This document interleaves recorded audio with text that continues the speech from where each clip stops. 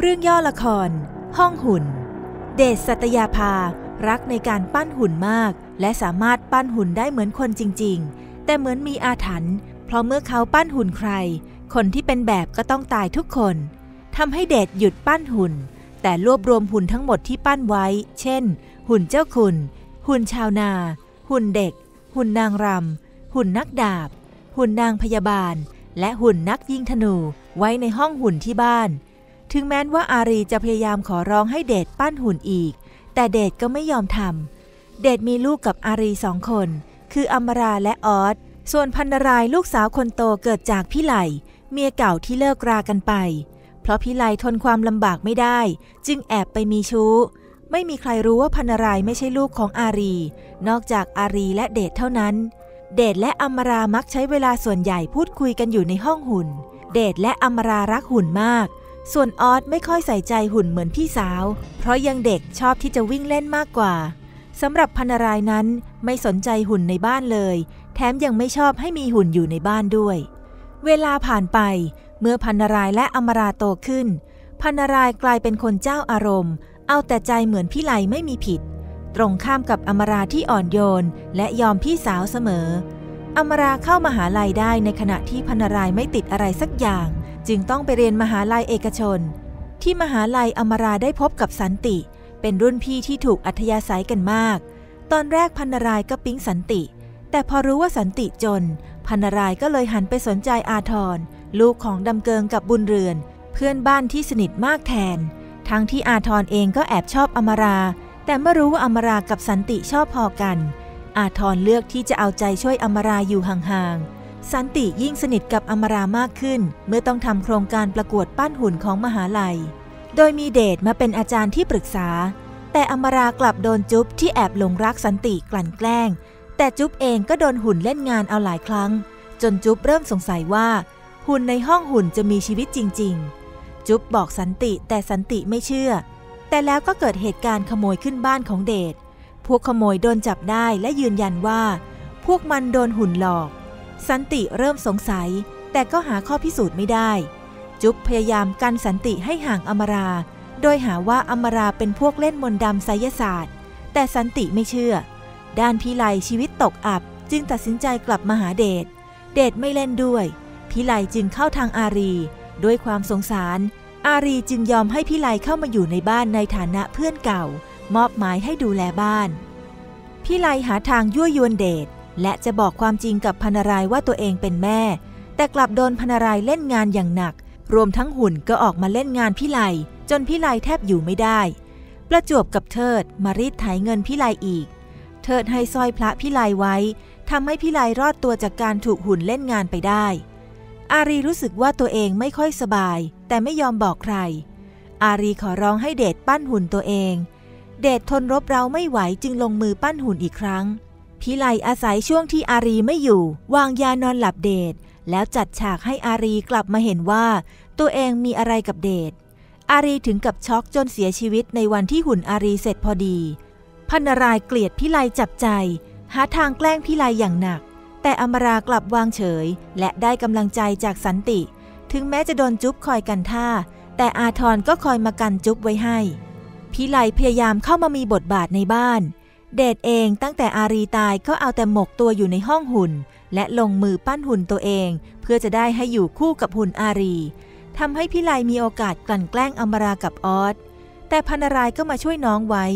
อมราและออสรวมทั้งคนในบ้านอื่นๆ นอกจากเดชพากันแปลกใจที่พิไลจะดีและยอมกับพันรายคนเดียว ทั้งๆทที่อมราและออสมีนิสัยดีกว่าพันรายมาก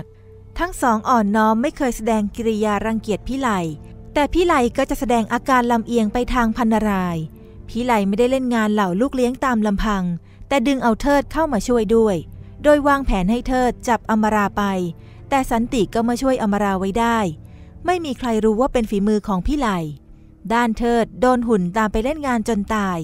พิไหลไม่ล้มเลิกความพยายามที่จะกำจัดอมราและออสให้พ้นทางพิไหลจึงพยายามเปิดทางให้พงมาลวนลามอมรา แต่พงกับพระอบก็โดนฤทธิเดชหุ่นเล่นงานจนขวัญผวาพันรายแอบได้ยินพิไหลพงพระอบคุยกัน จึงรู้แผนชั่วร้ายพันรายไปบอกเดชเดชจึงไล่พิไหลออกจากบ้านพพิไหลแค้นเดชจึงวางแผนกับพระอบและพงทำให้เดชตาย แต่ใครๆคิดว่าเป็นอุบัติเหตุพันรายอมราและออสหมดที่พึ่งพิไลทำตัวเป็นผู้ปกครองเด็กๆทันที แต่พันรายไม่ยอม และไม่ให้พิไลแตะต้องเงินเลย พิไลพยายามทำดีเท่าไหร่พันรายก็ไม่สน พิไลเดือดร้อนจึงหาทางบอกความจริงพันราย แต่พันรายไม่เชื่อ กลับอารวาสหนักขึ้น แถมพิไลก็โดนหุ่นเล่นงานอย่างหนัก จนแทบถอดใจ พิไลกลุ้มใจจึงไปกินเหล้าและได้รู้จักกับประจักษ์เพราะความเมาสองคนก็เลยมีอะไรกันพิไลเล่าให้ประจักษ์ฟังเรื่องบ้านสัตยาภา ประจักษ์เป็นทนายความจึงช่วยวางแผนทำพินัยกรรมปลอม ว่าเดชยกทรัพย์สมบัติให้พิไลเป็นคนดูแล พันนารายอมราและออสถึงกับพูดไม่ออกที่เห็นพินัยกรรม แต่ไม่มีใครเชื่อคำเกิงยื่นมือเข้ามาช่วยขอเวลาตรวจสอบ แต่ยังไม่ทันจะทำประจักษ์ก็โดนหุ่นเล่นงานเสียชีวิต ก่อนตายประจักษ์ยอมบอกความจริงทุกคนว่า ร่วมมือกับพิไลทำพินัยกรรมปลอม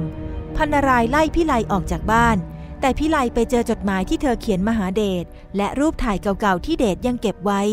พิไลเอาหลักฐานทั้งหมดมาให้พันนาราย พันนารายถึงกับตะลึงเมื่อรู้ว่าพิไลเป็นแม่แท้ๆของตัวเอง พันนารายจากที่อยู่ข้างอมราและออสเกลียดชังพิไลมาตลอด ก็กลับกลายมาเป็นฝ่ายพิไลพิไลกำชับพันนารายไม่ให้บอกใครว่าพันนารายไม่ใช่ลูกอารี ไม่เช่นนั้น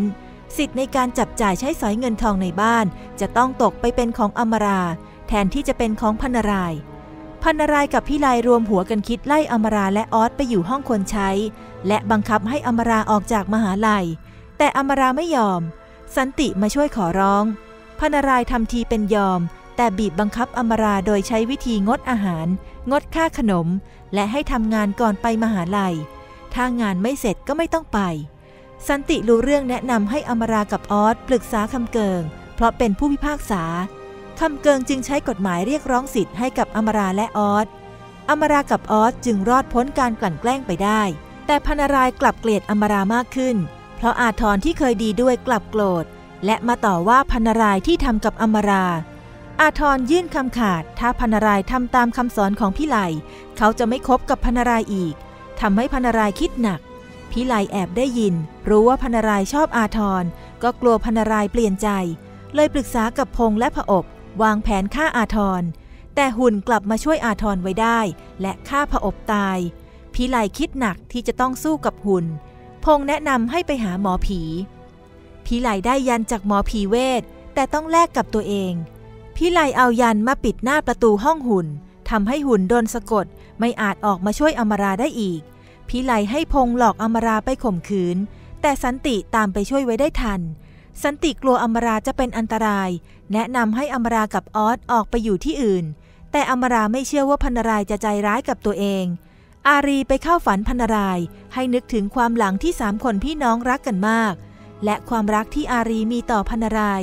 พันรายตกใจตื่นรู้สึกลังเล แต่ก็กลับมารู้ความจริงว่า ที่แท้อาทรรักอมราไม่ใช่ตัวเองทำให้พันรายเกลียดอมรามากขึ้น สันติแปลกใจที่หุ่นเงียบสนิท ไม่มาช่วยอมราเหมือนเคย สันติลอบเข้าไปในห้องหุ่น และเจอยันจึงดึงออก หุ่นจึงออกมาเล่นงานพี่ไลรวมทั้งพันรายพี่ไลให้หมอผีเวทมาปราบหุ่น อมรารู้ความจริงจากสันติเรื่องหุ่น สองคนรีบพากันมาที่บ้าน อมราและสันติพยายามจะช่วยหุ่น แต่โดนพี่ไลกับพันรายกันไว้ หมอผีสะกดหุ่นไว้ได้ และใช้สายสินมัดหุ่นเอาไว้ พีไลแนะนำให้เอาหุ่นไปทำลายให้หมด เพื่อไม่ให้หุ่นกลับมาได้อีก อมราไม่ยอมแต่ไม่สามารถทำอะไรได้ ระหว่างที่ขนหุ่นขึ้นรถจะไปป่าช้า สันติลอบเข้ามาจะตัดสายสินช่วยหุ่น แต่หมอผีเห็นก่อน จึงให้ลูกน้องจับตัวสันติซ้อมแล้วมัดไว้ หุ่นถูกนำไปที่ป่าช้ารอหมอผีมาทำลาย หัวขโมยแถววัดเห็นหุ่นน่าจะมีราคา เลยคิดขโมยไปขาย ตัดสายสินออก เพราะเข้าใจว่าเชือกธรรมดา หุ่นอลาวาดเล่นงานหัวขโมยกระเจิง เมื่อหมอผีมาถึงกำลังจะทำพิธี หุ่นยังทำเหมือนยังโดนอาคมอยู่ เมื่อหมอผีเผลอ หุ่นเล่นงานหมอผีจนตาย ด้านพิไลและพนารายอยู่ที่บ้านเปิดโอกาสให้พงข่มขืนอมรา อมราจวนเจียนจะเสียท่า แต่หุ่นมาช่วยอมราและฆ่าพงตาย พิไลตกใจที่หุ่นกลับมาได้ หุ่นต่างๆ มาเล่นงานพิไล พิไลวิ่งหนีไปซ่อนในห้องหุ่น และโดนหุ่นเล่นงานจนตกบันไดข้อหักตาย หุ่นจะเล่นงานพันราย แต่หุ่นอารีและเดชขอไว้ ส่วนพันรายให้กลับตัว และบอกความจริงทั้งหมดเรื่องความเลวของพี่ไลพันรายรู้ความจริง และเห็นความรักที่เดชกับอารีมีให้ ก็คิดได้ก้มกราบเดชและอารี เดชกับอารีให้อภัย บ้านสัตยาภากลับมามีความสงบเหมือนเดิม เวลาผ่านไป อมรากับพันรายเรียนจบ สันติขออมราแต่งงาน พันรายก็จะแต่งงานกับอาทรเหมือนกัน ทั้งสี่คนเข้าไปขออนุญาตหุ่นเดชและอารีในห้องหุ่น ถึงเดชและอารีจะไม่โต้ตอบ แต่ทั้งสี่คนก็รู้ว่า เดชและอารีอนุญาตและมีความสุขมาก ทุกคนคิดว่าวิญญาณที่สิงอยู่ในหุ่นคงไปเกิดหมดแล้ว แต่เมื่อสี่คนออกไปจากห้องหุ่น หุ่นทั้งหมดกลับขยับตัวและต่างพากันมองตามไป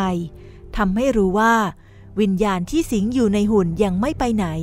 และพร้อมที่จะออกมาช่วยเหลือปกป้องสมาชิกทุกคนของสัตยาภาอีก ถ้าพวกเขาเดือดร้อน